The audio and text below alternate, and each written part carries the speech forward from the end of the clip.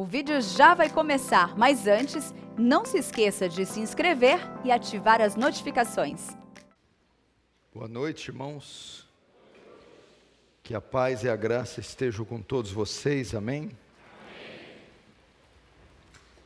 Vamos abrir sem demora na carta de Paulo aos Efésios, capítulo 2.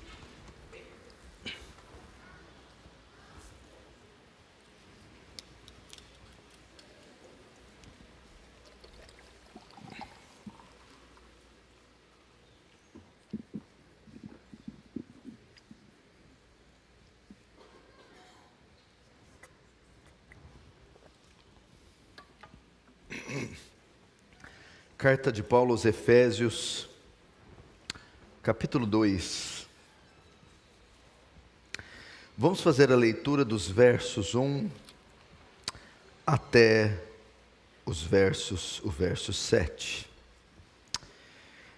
Ele vos deu vida estando vós mortos nos vossos delitos e pecados nos quais andaste outrora segundo o curso desse mundo, segundo o príncipe da potestade do ar, do espírito que agora atua nos filhos da desobediência, entre os quais também todos nós andamos outrora, segundo as inclinações da nossa carne, fazendo a vontade da carne e dos pensamentos, éramos por natureza filhos da ira, como também os demais, mas Deus, sendo rico em misericórdia, por causa do grande amor que com que nos amou, estando nós mortos em nossos delitos, nos deu vida juntamente com Cristo. Pela graça sois salvos juntamente e juntamente com ele. Nos ressuscitou e nos fez assentar nos lugares celestiais em Cristo Jesus, para mostrar nos séculos vindouros a suprema riqueza da sua graça em bondade para conosco em Cristo Jesus, porque pela graça sois salvos mediante a fé, isto não vem de vós, é dom de Deus não vem de obras para que ninguém se glorie. Até aí. Fecha, não, não fecha a Bíblia, fecha apenas os olhos. Vamos fazer mais uma rápida oração, por favor.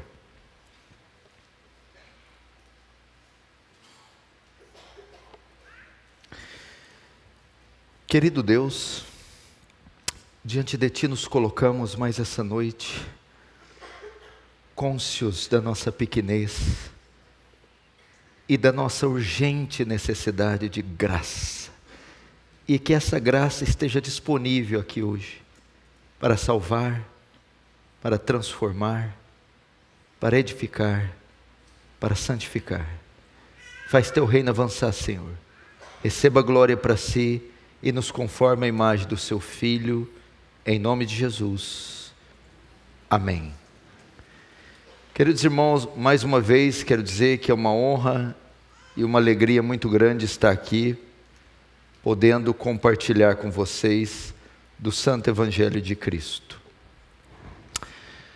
Uh, e eu quero falar um pouco sobre um dos principais aspectos da salvação. O tema da minha mensagem é Salvos pela Graça, salvação pela graça. Nós sabemos que um número enorme de pessoas estão está aderindo à fé reformada ou um, um novo evangelho, um evangelho que não conhecia. E muitos estão vindo de igrejas não reformadas. E muitas dessas igrejas, elas não conhecem a fundo, com precisão, o caráter da salvação. Aliás, muito da igreja brasileira, boa parte dela, não conhecem muitos aspectos essenciais da fé. Nós vivemos ainda em uma profunda ignorância.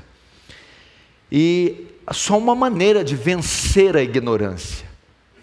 João 8,32: E conhecereis a verdade, e a verdade vos libertará. E quando falamos de salvação, de soteriologia, doutrina da salvação, a ignorância ainda é maior. A maior parte da igreja brasileira, ela não compreende ainda a salvação pela graça, ainda que professe com os lábios a salvação pela graça ou pela fé somente, na prática, ela é uma igreja que confessa a salvação pelas obras. ela tem a ideia de salvação por mérito. Precisa fazer, precisa praticar obras para alcançar a salvação. A Bíblia diz que nós praticamos obras porque já alcançamos a salvação, porque foi nos dada a salvação. Jesus não nos salvou por causa dos nossos méritos, mas apesar dos nossos deméritos. E fato esse comprovado, por exemplo, quando em minha cidade saímos com grupos para evangelizar nas ruas, nas praças ou de casa em casa, e sempre nos deparamos com evangélicos. E é claro, nós vamos evangelizá-los, porque dizer que é evangélico no Brasil não significa muita coisa. E hora que nós vamos falar sobre o caráter da salvação, invariavelmente a maioria desses evangélicos evangelizados vão dizer: eu preciso fazer, eu tenho que melhorar, eu tenho que orar mais, eu tenho que deixar alguma coisa. Nunca, nunca testemunham ou professam que precisam correr para Cristo, ou que não foi pelos seus méritos, e sim pela cruz de Cristo. Infelizmente, é assim para a maioria. E consciente disso, eu quero trazer esta mensagem.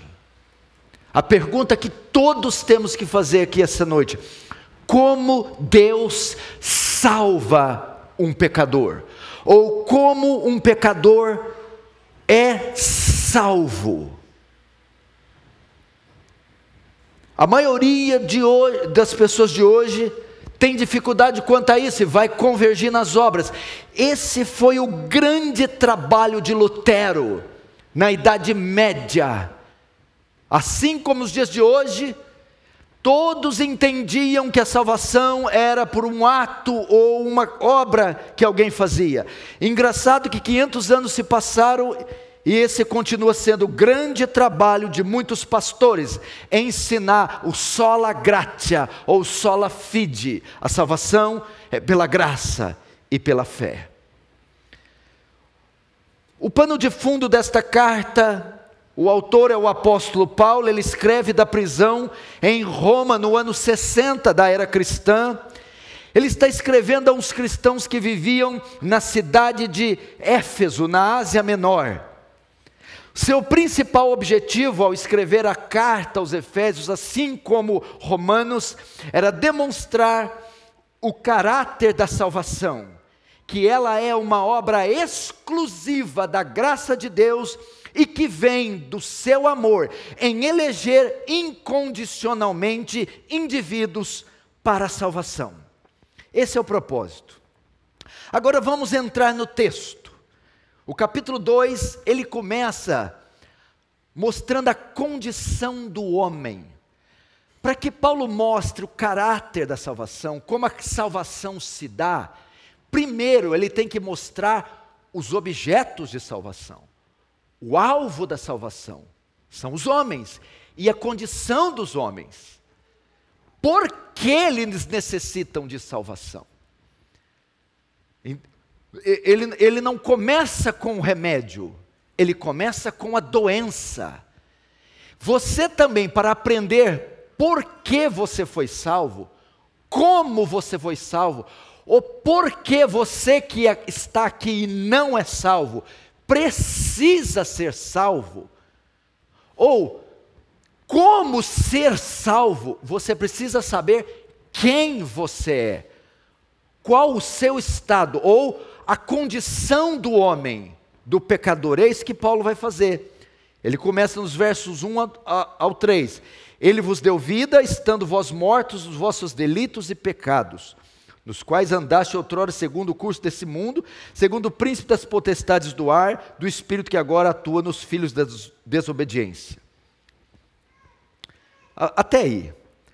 Então veja só, jamais compreenderemos a salvação se nós não compreendermos a condição do homem. E Paulo começa dizendo: mortos em delitos e pecados. Essa é a primeira condição, é, esse é o primeiro detalhe ou a primeira característica que Paulo revela da condição do homem. Ele diz que ele está espiritualmente morto. Ele não tem comunicação com Deus, ele está morto. Foi esta sentença dada por Deus no Éden: de todas as árvores do jardim podereis comer, mas da árvore do, do, do conhecimento do bem e do mal, dela não comereis, porque o dia que dela comeres, certamente morrereis. O homem é um cadáver, o homem está morto significa estar morto. Ele está sem comunicação com Deus, não há um elo de ligação entre ele e Deus. No Éden, ele não machucou, ele não se mutilou, ele não se acidentou. No Éden, o homem morreu, ele está morto. Ele está sem condições de se ligar a Deus, de ir a Deus, sem condições de, de se comunicar com Deus, sem condição de responder a Deus. Tal foi a consequência. Esse é o grande problema do evangelicalismo brasileiro, é o grande problema dos crentes modernos, é o grande problema da nossa da, é, da nossa sociedade humanista. Ela exaltou o homem demais e colocou o homem num posto que não lhe cabe. A sociedade ensina que o mal está no meio, no ambiente, mas a Bíblia diz que não. Na queda, o homem se tornou um ser execrável, abominável, maldito, perverso, a pior criatura que existe na face da terra, um monstro, uma fera, porque no, com o pecado ele morreu, se degradou, caiu. E é isso que ele vai tratar aqui nesses primeiros versos. Primeiro, está morto.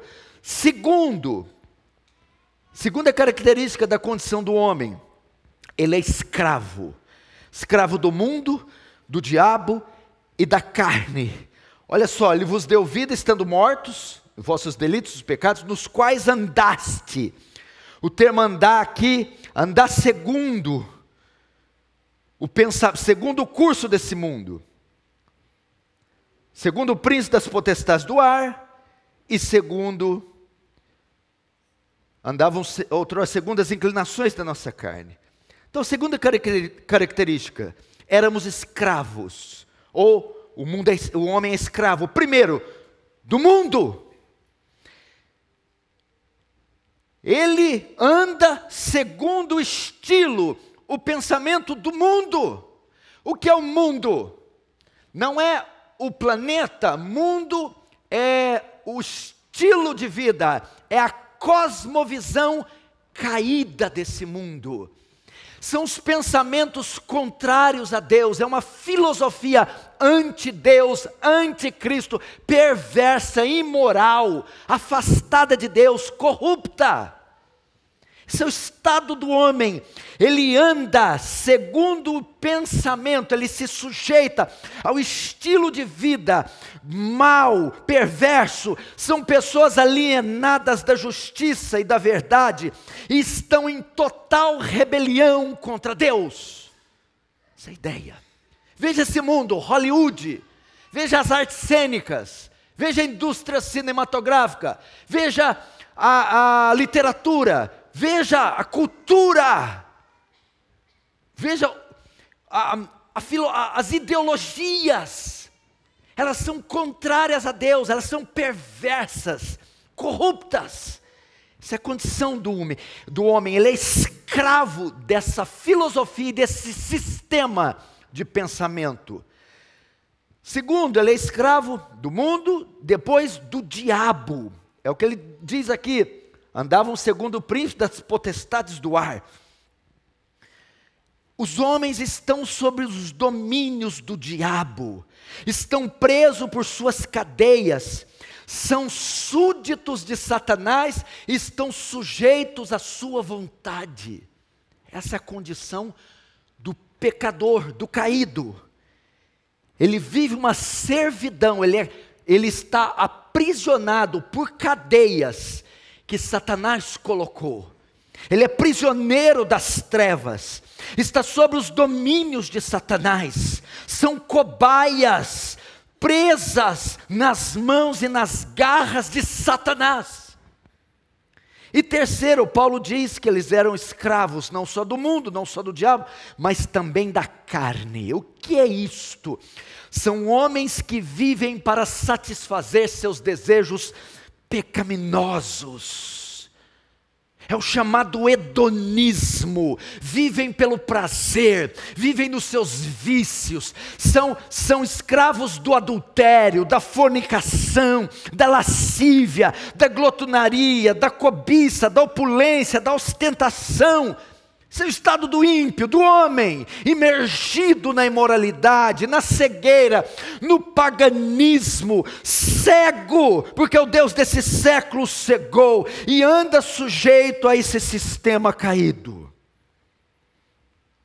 Primeira condição, está morto. Segundo, ele é escravo. Terceiro,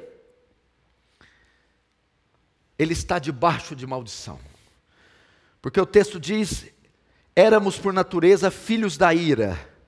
O que é isso? O resultado de estar nessa condição, estar morto, ser escravo do mundo, da carne, do diabo, é que todos estão debaixo de julgamento, debaixo do juízo divino. É isso que está em Romanos 1,18.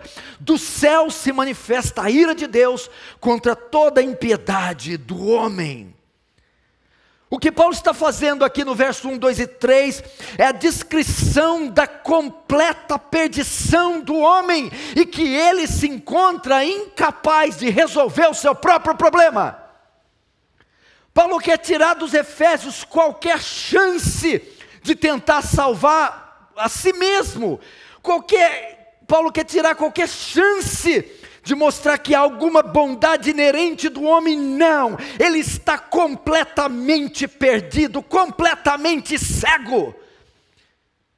Isso é contrariando o que muitas seitas ensinam, que nós não pecamos mais, que não há mais pecados, que há só falhas, tropeços, erros, faltas. Paulo vai dizer: não, todos pecaram e destituídos da glória de Deus estão. Não há um justo, nenhum justo, nenhum sequer. Não há quem entenda, não há quem faça o bem, não há nenhum.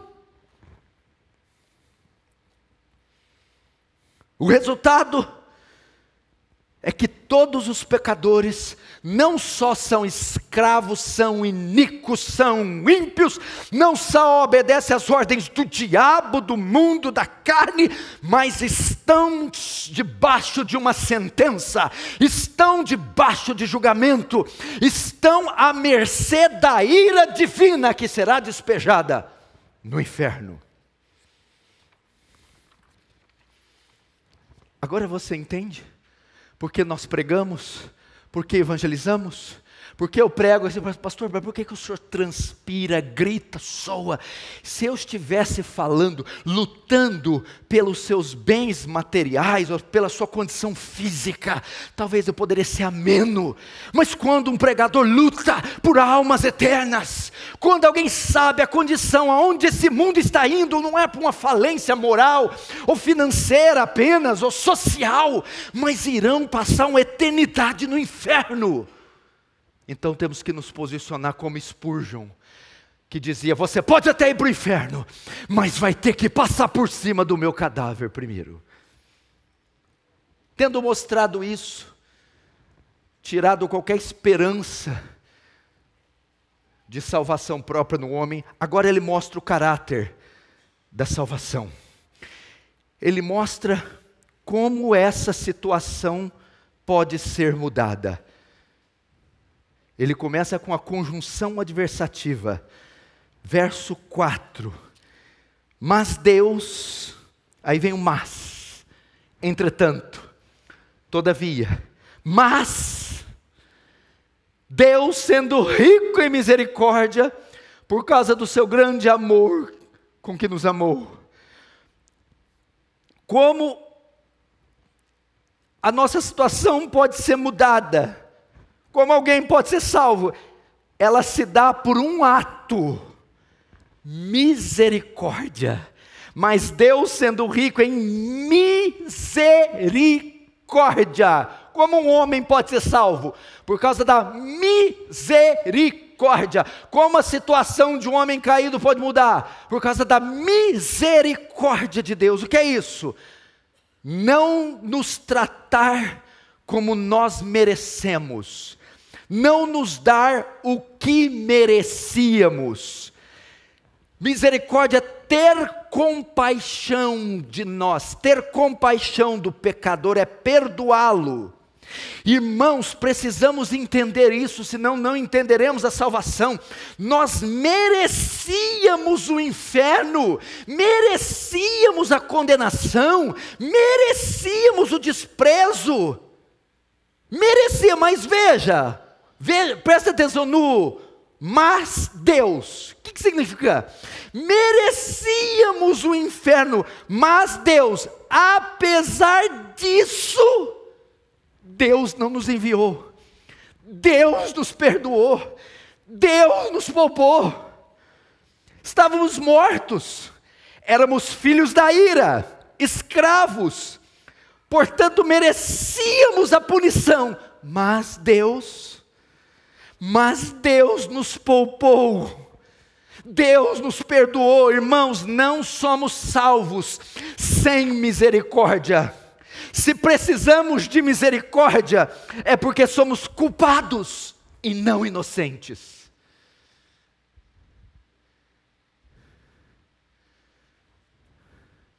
Como que Deus salva? Não é porque Ele procurou bondade em nós e ao encontrar nos salvou. Não é porque encontrou algo bom em nós e tendo encontrado nos poupou. É que apesar de ter procurado e não achado nada além de maldade, então, podendo nos executar, Ele nos poupa. Misericórdia! Misericórdia! Se a igreja brasileira aprender essas coisas, ela se dobrará aos pés do Salvador em gratidão até no dia da sua volta e viverá uma vida santa e pura, porque agora entendeu que Deus não deve nada a elas, e, pelo contrário, é elas que têm uma dívida eterna com Ele. Só estamos aqui porque Deus teve misericórdia de nós. Só fomos salvos porque Deus teve misericórdia de nós. O texto diz que a salvação também é um ato de, um, de amor. Qual é a causa dessa misericórdia? Você tem que se perguntar.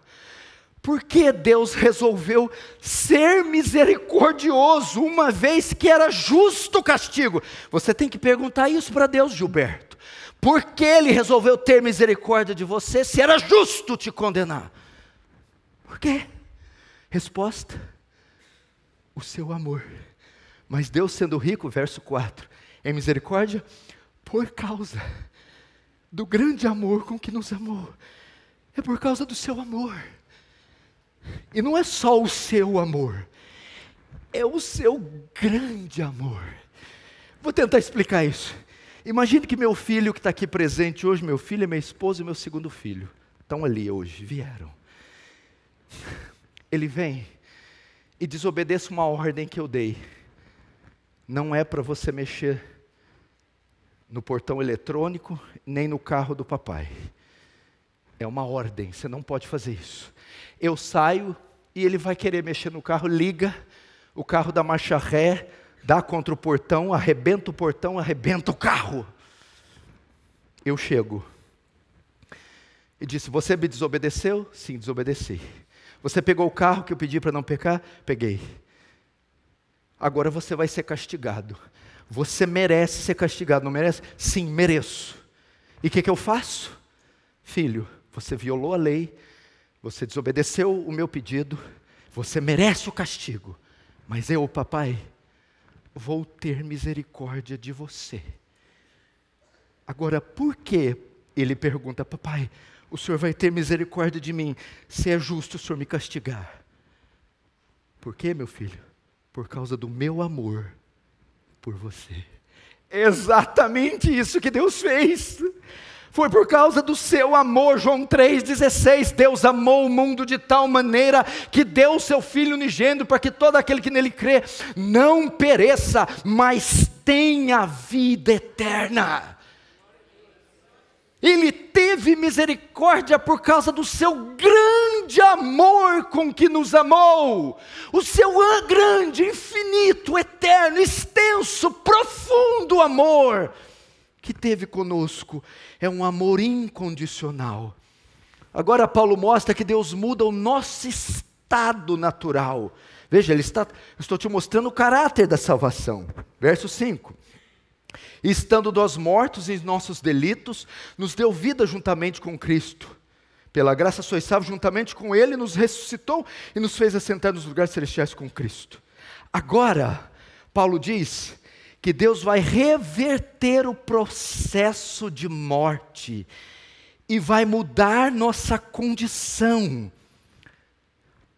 O texto diz que estávamos mortos. Agora, para salvar, Deus tem que nos dar vida. O estado de condenação é chamado estado de morte, é chamado de morte. E o estado de salvação é chamado de vida. Agora Deus, para salvar, não, ele não vai simplesmente nos direcionar a uma religião, direcionar a, a, a, ao ritual do batismo, a uma igreja. Não, não, não, não, não. É preciso mais que descer as águas por imersão ou aspersão, que profissão de fé, que liturgia, que igreja, que participar da ceia, que trocar vestimenta, não cortar cabelo, usar sua saia, jogar fora a televisão, nada disso pode reerguer aquele homem morto. Nada que a religião proponha, nem nada que Buda, Maomé, Confúcio, nem todas essas seitas com usos e costumes, o homem está morto. E a única maneira dele ser salvo é ele ser trazido à vida. Doutrina que chamamos regeneração. Ele nos deu vida estando mortos, ele vai mudar nossa condição. O que, que é isso, regeneração?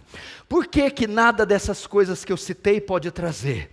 Porque a obra de trazer o morto à vida é uma obra sobrenatural acima do natural. Não é cada terra, é lá do céu, é de cima e não é de baixo. É uma obra que só o Espírito Santo pode trazer, ressuscitando os filhos de Adão para nos torná-los filhos de Cristo. É isso que ele fez. Regeneração. Essa doutrina o povo esqueceu. As pessoas estão sendo declaradas salvas porque fizeram profissão de fé, batismo, etc, etc, use costumes, saia, cabelos. O que está em Cristo, nova criatura é, as coisas velhas passaram, eis que tudo se fez novo. O que é uma nova criatura? O grego ali, nova criação. Deus, para você ter entender o que é salvação. Imagine quando Deus cria o universo, lá em Gênesis 1. Os teólogos de, de, ensinam que ele cria a partir do nada, a palavra latina ex nihilo. Do nada Deus cria a luz. Haja luz. Do nada. As estrelas, os luminares, as águas, os animais selváticos. Imagine quanto poder Deus não empregou, não usou para do nada criar as galáxias, os oceanos, só o Oceano Índico, Atlântico, Pacífico, Mediterrâneo possuem um octilhão de litros de água. Só um ser humano possui 60 trilhões de células. Só você tem 60 trilhões de células. Só o universo, de uma ponta na outra, tem 94 bilhões de quilômetros de anos-luz. Imagina para criar tudo isso do nada, quanto poder! Eu desafio você, eu te dou dois minutos para criar essa toalha do nada, sem nada faça ela aparecer. Imagine quando poder. Agora veja o caráter da conversão. a conversão, a salvação, não é trocar de religião nem de roupa. É a regeneração, trazer o morto à vida. E como isso é feito?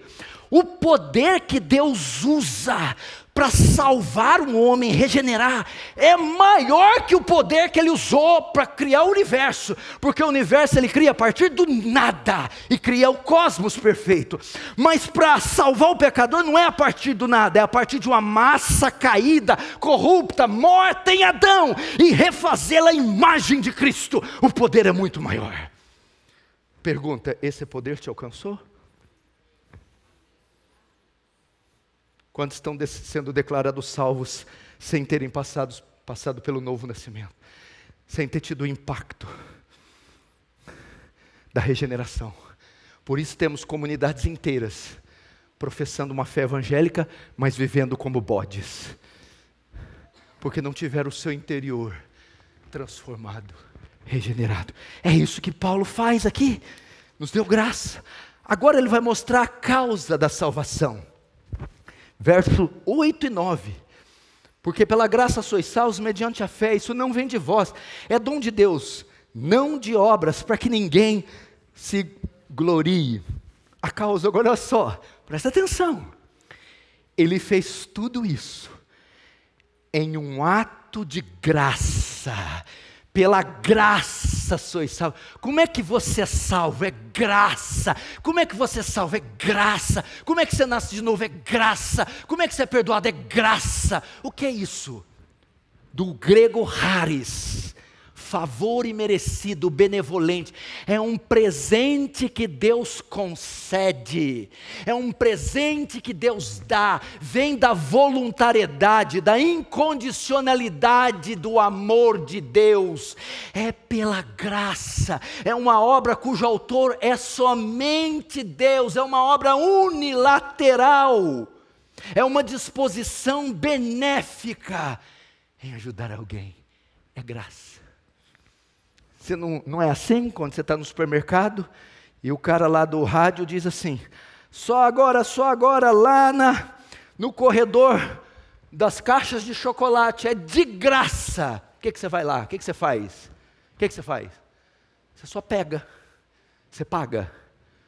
Por que, que você não paga? Porque é de salvação assim. Você só se apropria, só a recebe, só a toma só a concebe, porque Deus é quem a faz. Veja só, a misericórdia se compadece, a graça salvo, salva.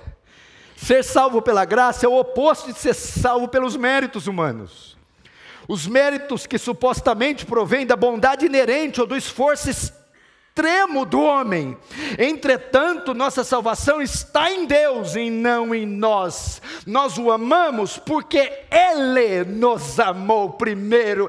Ele não salva por causa dos nossos méritos, mas apesar dos nossos deméritos. Graças a Deus que é por graça, porque se fosse por obras, os dez mandamentos nos dariam uma surra todos os dias.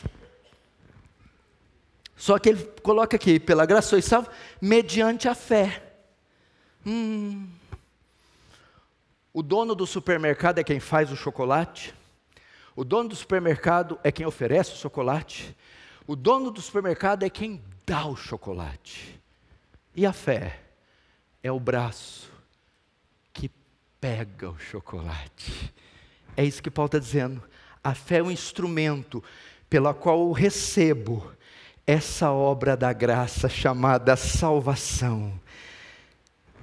Como Lutero dizia, não é por causa do que eu faço, é por causa de quem eu creio. Isso que é pela fé. Não é por causa do que eu faço, é por causa de quem eu creio. Pela graça sois salvos. Toma aqui, é para você. Pela fé. A fé é só o braço que estende e recebe aquilo que foi dado gratuitamente, cujo eu e você não participamos. Essa fé aqui carrega o sentido de confiança, de esperança. Confiar no quê? Esperar em quem? Em Cristo. Romanos 5:1 justificados, pois mediante a fé temos paz para com Deus por meio de nosso Senhor Jesus Cristo. Gente, é até mais fácil ser salvo desse jeito. Não, é não, pastor. Jesus, eu não sei o que, que o povo está entendendo. como é que é? As religiões estão dificultando o caminho para o céu. É pela graça. Eu só recebo pela fé. E o texto diz: Isto não vem de vós. O que que não vem de vós? Salvos e fé. Pela graça sois salvos, por meio da fé. Isso não vem de vós. O que? A salvação e a fé não estão em vocês. Vocês não são capazes de produzir. Essa fé salvadora não é uma coisa inerente do homem, porque o homem está morto e não há nada de bom nele. Isto não vem de vocês, nem a fé, nem a salvação. E vem de onde? Isso não vem de vós? É dom de Deus é dado por Deus, é dado por Sua graça, tanto a fé como a salvação. É uma doação. Para você entender, é assim, ó. É algo que nós não teríamos se não nos fosse dado. É algo que você não teria se não te fosse dado. E aí agora ele arrebenta, ele joga um míssil, ele joga uma bomba atômica nas seitas. Verso 8: Não de obras, para que ninguém se glorie. Se a glória toda dele, do começo ao fim, a salvação não pode vir de obras. Por quê? Porque mortos não trabalham, não labora. Escravos não têm nada a oferecer para o seu dono. Nossas obras, pelo contrário, são trapos de imundícia, diz Isaías. Gálatas 2,16 diz: Sabendo, contudo, que o homem não é justificado por obras da lei, e sim mediante a fé em Jesus Cristo. Também temos crido em Jesus para que fôssemos justificados pela fé em Cristo, e não por obras da lei, pois por obras da lei ninguém será justificado. Não adianta deixar o cabelo, dar dor de coluna, torcicolo, ninhada de lêndia, para com isso, irmã. Que bobagem, que dor de cabeça. Ah, já, imagina condicionador, meu Deus do céu. Sai, e não pode isso, não pode aquilo. Isso não vai conferir salvação. Não adianta atravessar 500 mil velhinhas ali e atravessa na Avenida Paulista. Vai lá no, tira, no como é que chama aquela cidade? Tiradentes? É Tiradentes? Não, cidade mais violenta de São Paulo.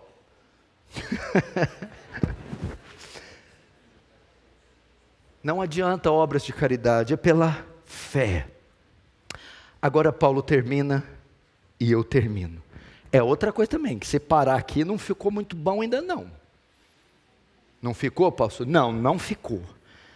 Agora ele vai dizer a grande razão da salvação, outra bomba nos humanistas. Verso 7 para mostrar nos séculos vindouros a suprema riqueza de Sua graça em bondade para conosco em Cristo Jesus. Isso aqui é uma doutrina que só a teologia reformada ensina.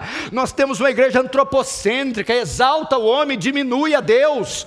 Mas aqui ele está dizendo por que, que ele salva? Não é exclusivamente, em primeiro momento, por causa de você, por causa de mim. Ele não salva por isso, ele salva por causa dele.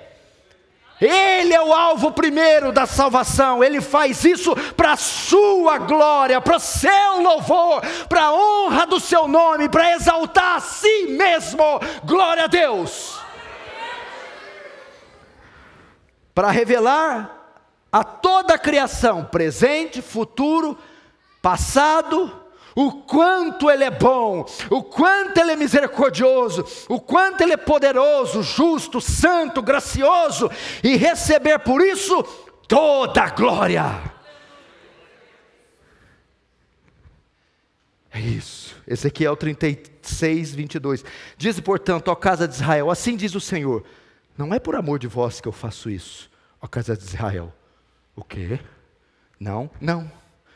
Mas pelo meu santo nome que profanaste entre as nações, para onde fostes. É por isso que Deus salva, porque no final, Ele recebe toda a honra, toda a glória, todo o louvor. Você viu em toda a minha exposição? Onde o homem apareceu ali? Que mérito? Ah, não, ele apareceu uma vez, como um cadáver. Só isso. O papel dele é feder, exalar fedor, carniça. Esse é o papel, está morto. E o segundo, um, o segundo ator da peça, é Ele quem recebe destaque, a salvação é dele, para a glória dele, pela fé nele, por gra pela graça dele, pelo amor dele, pelo um ato soberano dele, e no final ele e mais ninguém recebe glória. Amém? Amém. Queridos irmãos, agora eu quero terminar. O irmão pode começar aqui no louvor. Tem alguém aqui que não é do Senhor Jesus? Tem alguém aqui que não entendia a salvação, não sabia que ela era por graça, que o homem não participa, que ela é só por meio da fé, não sabia que precisa ser tocado pelo poder sobrenatural. Talvez você trocou de igreja, mas não trocou de coração. Talvez você trocou de doutrina, mas não teve o coração transformado. Não se fie na igreja, não se fie na doutrina. Houve novo nascimento, você teve encontro com Jesus, passou da vida para a morte, nasceu de novo. Como eu sei que eu passei da morte para a vida e nasci de novo? Como eu sei que esse poder maior que o poder de criar o universo me alcançou? Pelos frutos os conhecereis. Você mudou sua vida? Anda em justiça, pratica obras de bondade. Você passou a odiar o que amava, o pecado, e passou a amar o que odiava, a justiça. Assim você sabe. Pastor, eu não fui, eu não sei. Deus talvez marcou esse dia para salvar você hoje, para salvar você agora. Como? Cristo. Olhe para a cruz. Na cruz está o seu pecado. Na cruz foi feito o que era impossível para você ser feito. Ele cumpriu toda a lei de Deus e toda a justiça. Ele levou o seu pecado, pagou por ele e sofreu debaixo da ira de Deus. E agora ordena que todos os homens em todos os lugares se arrependam e creia. Vai até ele com arrependimento e deposite sua confiança, fé salvadora, nos pés dele então Ele pode te salvar. Feche os olhos, curva a sua cabeça, vamos orar. Fale com Ele agora. Fale com Ele. Se você não tem certeza, rogue a Ele que te salve. Se você tem, rogue por um amigo, um parente, diga: Senhor, salva meu pai, salva meu filho, salva minha mãe, salva tantos quantos necessitam. Não deixe que morram sem o perdão dos pecados, sem que tu reveles Cristo a eles. Chore por eles, ou chore por você mesmo. Senhor, eu não quero sair daqui, Senhor, sem receber um novo coração, sem ser transformado